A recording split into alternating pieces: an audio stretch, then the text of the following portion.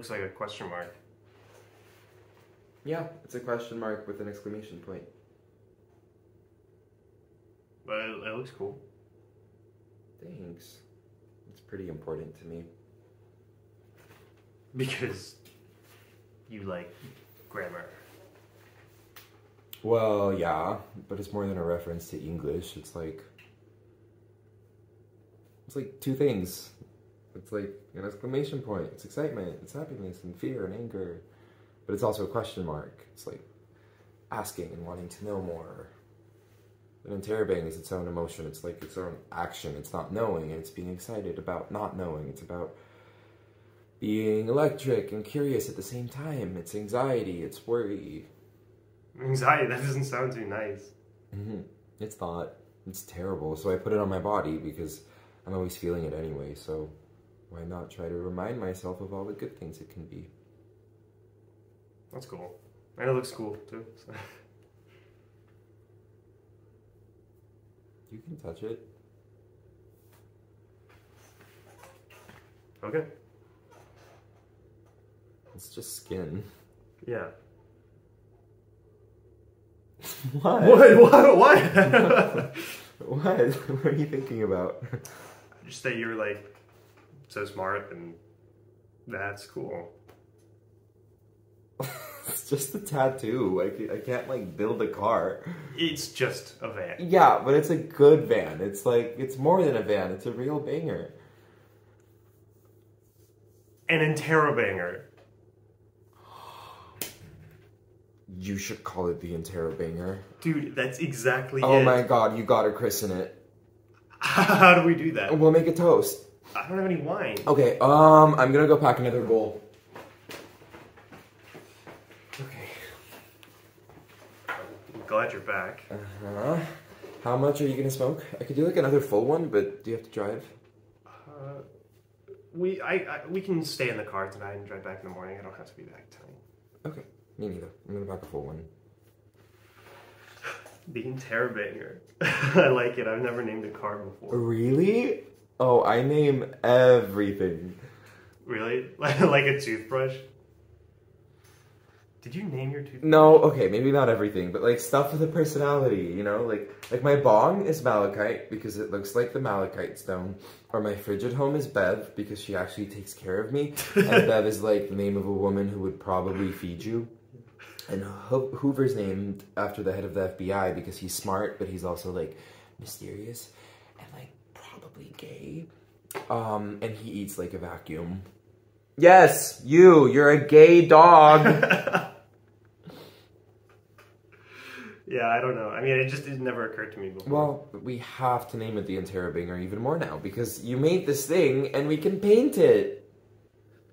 and, and Danny and Danny can decide it. She's like really good. Oh my god, she could she could paint the words the Interrobanger on the side and like a big Interrobang. Okay, okay, here we go.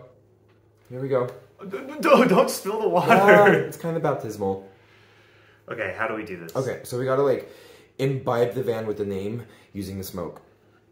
Okay, uh, make a speech. Is it cool if I invoke a god? I was thinking maybe trivia. There's a god of trivia. Yeah, she's like in charge of like mysteries and ghosts and stuff. It feels apt. Uh, yes, that is apt for the interrobang. Uh huh. Yeah, that's what I thought. Go for it. Okay, so. Oh, god of trivia, goddess of ghosts and crossroads, take this dank weed as an offering as we dedicate this van to you. May the Interrobanger always take us, take the right turn at the crossroads, not like only turning right, but like take the one that's right for the journey. May it protect us from ghosts, but also I'd like to see some ghosts. But too. don't, but don't haunt the van. Yeah, don't haunt it. Just like, just use your magic to make it more interesting so we always feel like, uh, like we're doing something cool and mysterious. So I dub the, the Interrobanger. That was beautiful. Yeah. Wait, before we do this last part, say some words about like the name and like the hopes for the band. Um, I Miss Trivia. Please make this the most awesome van in the world, and don't make us stay in Foggy Bluffs and let us go on adventures and uh, be a van that can carry friends and good times and like prevent us from getting a flat tire in the middle of nowhere Mhm. and just like take us somewhere where we can be as cool as the van will be. I dub thee the Interrobanger. The entire bang out.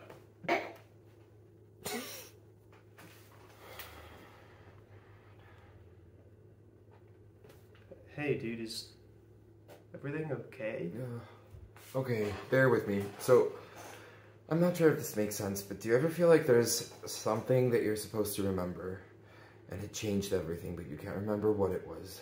And it was something big and dark, but you hope it's just a passing thought, like an intrusive thought, not a memory. You hope that it's something that you would want to remember, but, but what if you find out and then you have to face something really terrible, and maybe the terrible thing is that someone else knows? Like, do you ever feel like that? Uh, um, I- I don't think I've ever felt like that. Oh. Is this about being abducted?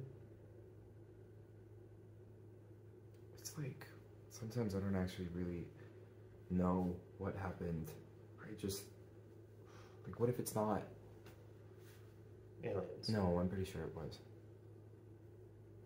I mean, that's the one thing that makes sense. I have the proof, even if other people don't believe it. I mean, you've never said anything different.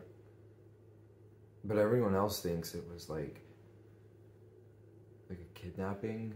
Like, what if it was someone I knew? Do you think it could have been? I guess it could have been. I mean, everyone thinks it was Mr. Jenkins. I don't even remember seeing him that night. What? What do you remember? I remember? the things he told me, like about how big the universe was and how much there is that I don't know and how much I'll never be able to know. It's not like it's not all specific. Mostly just this overwhelming blanket of like not goodness, uncanny. I'm sorry. You didn't do anything. Yeah, but I wish it hadn't happened to you. Me too. But even wishing it away scares me. I wouldn't exist. I'm glad you exist. Everyone says I made it all up.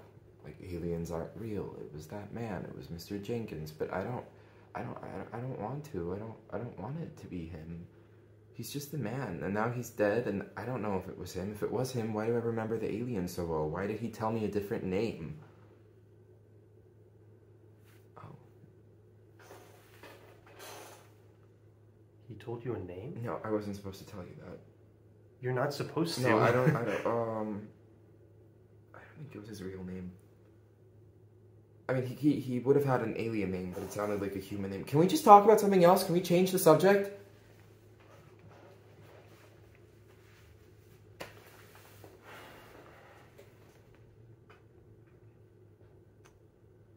A couple days ago, when we were talking about what kind of cryptids we would be, I said I wanted to be a ghost. But, but I actually think that I'm a swamp monster.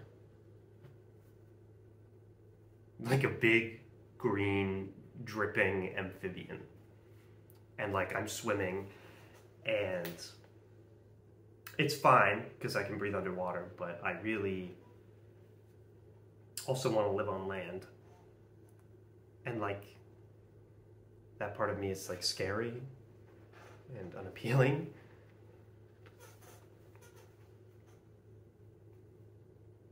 And and not to me, but like people would people would be scared. But I want to just go to school and live a normal life. but everyone's freaked out because of my gills.